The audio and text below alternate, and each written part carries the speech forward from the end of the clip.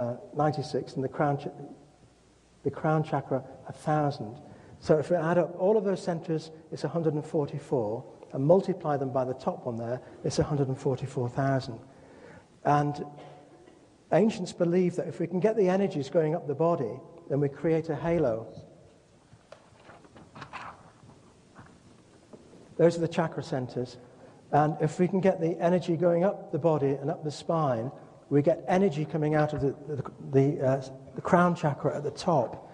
And this is why in ancient pictures they're often represented with halos, different sorts of halos. And only Jesus has the halo with the cross of the sun behind his head, because only Jesus is the sun. You'll find the saints have different types of halos because they're not as pure as Jesus was. And what we find is that uh, when men ejaculate sperm, they lose a great deal of protein because sperm is about 99% protein and zinc. And uh, one of the problems with reincarnation is if you have children and you don't go to heaven, then you come back as your children's children because the DNA is the same and the voltage is the same. So if you don't have children, A, there's no body to come back to, so that makes it difficult to reincarnate, which is good because you go to heaven. And uh, the, thing is, this is why priests have to be celibate. This is why Moses said in the Bible, uh, uh, take the foreskins off, off the babies. Circumcise, thank you, circumcision, which stops them masturbating, stops them getting rid of the sperm, because as soon as you get rid of sperm, all the energy in the bottom, body goes to the gonads to make more sperm instead of going up the spine to make voltage to go back to God. In the same way, women who love their baby send all their energy to their child. And instead of the energies going up the spine and, and amplifying, they go down and uh, it stops them getting to heaven. Earlier, we saw the importance of the number nine. Tutankhamun's tomb has 99999 seals, and he was born in nine coffins. And uh, here's a picture of Tutankhamun going to heaven in, the, in his burial chamber at uh, the Valley of the Kings. Here we see Tut meeting Nut, the goddess of the night sky. So he's going to heaven. And then we see Tut as two twins, embracing Osiris, the twins, the morning star and the evening star. When Tutankhamun died, he went to heaven. He was resurrected in heaven as the twins, which means Tutankhamun must be the same, another reincarnation of Jesus. And uh, if you go down to Peru, what you'll find is that the ancient Incas had many stories.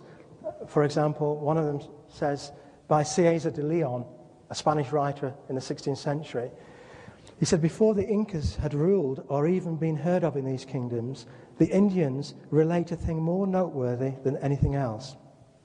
They say there suddenly appeared from the south a white man of large stature and authoritative demeanor this man had such great power, he changed the hills into valleys, and from the valleys made hills, causing the streams to flow from living stone. They called him the maker of all things created, prince of all things, father of the sun. He did more wonderful things, giving being to men and animals. By his hands, very great benefits accrue to them. This is the story the Indians themselves told me, who in turn told it to their children, handed down through ancient times. They say he traveled along the highland route to the north, working marvels as he went. And they say they never saw him again. They say that in many places he gave men instruction on how they should live, speaking to them with great love and kindness, telling them to be good and do no damage or injury one to the other. But to love one another and show charity to all. They called him Tiki Viracocha, and they built temples to him. The huge statues in the village of Tiahuanaco in Bolivia are held to be from those times. After a long time, they saw another man who looked like the first, but they don't mention his name. They have it from whoever they talk to that he could heal the sick with his bare hands and restore sight to the blind by words alone. Thus he was loved by everyone. Working miracles, and by his words, he came to Canas near the village of Kasha. The people rose up against him and threatened to stone him. But he sank to his knees and raised his hands to heaven. They then saw fire in the sky, which seemed all around them.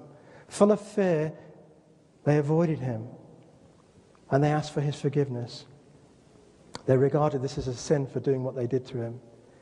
And they say further, leaving the place where this occurred, they came to the coast, and there, holding his mantle, he went forth, forth amidst the waves of the sea and was seen no more. And as he went, they gave him the name Viracocha, which means foam of the sea. Now, there are lots of stories like this about the two white men who walked through Peru performing miracles in olden times, around 500 AD. Viracocha means foam of the sea. When I lived in Cornwall many years ago, I put my Wellington boots on and walked in the water because I couldn't understand why they would call him foam of the sea. And I walked in the foam of the sea, and I thought, well, what's happening to me right now? And I stood between the foam of the sea and the shore. And then I went from the shore and I went into the water away from the foam of the sea. And when I was in the foam of the sea, I thought, well, right now I'm in touch with the earth beneath my feet, the air, the sun above my head, and with the water. I'm in the foam of the sea.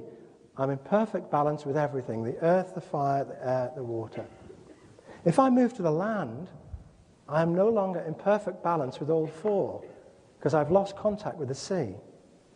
If I step into contact with the sea, I lose contact with the land. So I'm not perfect.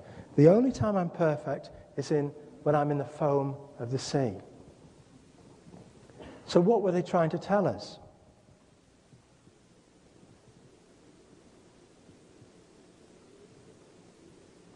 The Indians believe that the cow is sacred because it gives holy milk. And foam of the sea is clearly a metaphor for the perfect human being, he who is in balance with nature.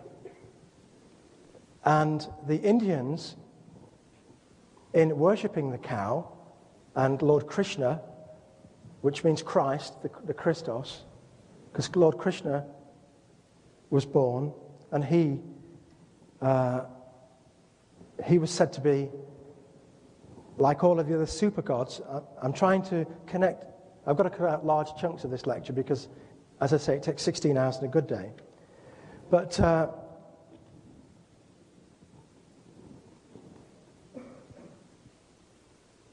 the Indians believed heaven to be a milky ocean, the foam of the sea. And that's where God lived. And they believed that when we died, we went to the foam of the sea. Now, in. Uh, 1988 in Peru, there were lots of reports about some tombs that had been discovered. And one of the tombs contained a figure of the man in the tomb in the guise of a crab. Now, the crab is an animal that lives on the land and in the water. The crab lives in the foam of the sea. And so in 19, uh, what would it be? 95, the first book I had published was The Mayan Prophecies.